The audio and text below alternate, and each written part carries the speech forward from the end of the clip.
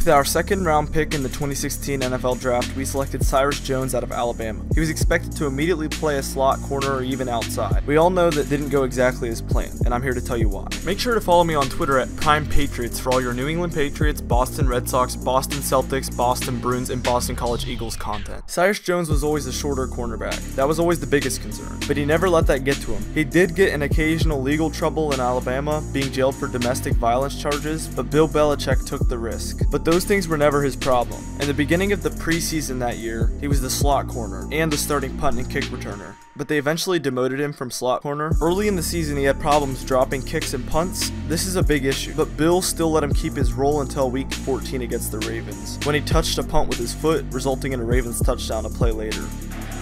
Jerry Rosburg, the special teams coach. Koch kicks it low, end over end. Boy, he's had one catastrophe after another. The Ravens are on it. Whose ball is it? Baltimore's ball.